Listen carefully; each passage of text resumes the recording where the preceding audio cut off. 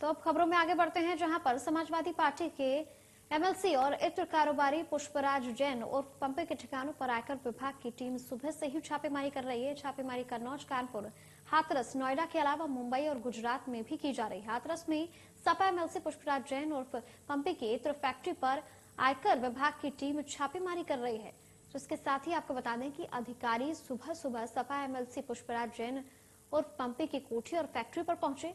पंपी जैन की कोठी और फैक्ट्री हाथरस ज़िले के हसायन कोतवाली क्षेत्र स्थित सिकतरा रोड पर है। इसके अलावा कानपुर के प्रगट अरोमा कॉम्प्लेक्स में इत्र कारोबारी पंपी जैन के दफ्तर पर आयकर विभाग के अफसर मौजूद रहे। सपा एमएलसी पुष्पराज जैन की कंपनी प्रगति अरोमा का रीजनल दफ्तर मुंबई में है, वहाँ पर भी छापेमारी चल रही है। बताया जा रहा है कि मुंबई दफ्तर से दुबई, अबुधाबी समेत कई देशों में का इंपोर्ट किया जाता है। सपा एमएलसी पुष्पराज जैन के चार भाई हैं, अतुल जैन और पुष्पराज जैन। परफ्यूम के बिज़नेस को कन्नौज और कानपुर में देखते हैं, जबकि प्रभात जैन और पंकज जैन दोनों मुंबई में रहते हैं और मुंबई दफ्तर से व्यवसाय देखते हैं।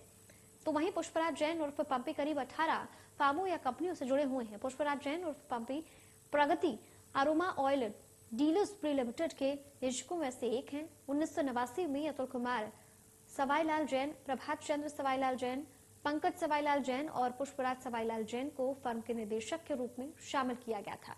तो उसके साथ ही ये छह तस्वीरें भी बनी हुई हैं। आपकी टीवी स्क्रीन पर कन्नौज अंबेडकर नगर, कानपुर, दिल्ली, हाथरस और मुंबई से जहाँ पर छापेमारी अभी भी जारी है, इसके अलावा पुष्पराज जैन बारह और कंपनियों के निदेशक, पाँच कंपनियों में पार्टनर रह चुके हैं। आयकर विभाग की टीम ने शुक्रवार सुबह सुबह पुष्पराज जैन के सभी ठिकानों पर छापेमारी की। छापेमारी अभी भी जारी है और ये तस्वीरें आपकी टीवी स्क्रीन पर पहुँचा रहे हैं, जहाँ पर कन्नौज, अंबेडकर नगर, कानपुर, मुंबई, हाथरस और दिल्ली से तस्वीरें हैं, जहाँ पर छापेमारी की प्रक्रिया लगातार जारी है। अखिलेश की जनसभाओं में आने वाले अपार जनसमूह को देख के घबरा गई। बड़े बड़े बीजेपी के नेताओं की मीटिंग हो रही सारा प्रशासन, सारा अमला लगता है। तो अखिलेश की सभाओं के कोने के बराबर इनकी भीड़ नहीं हो पाती, जिसमें सब कर्मचारी होते हो। नहीं पाती।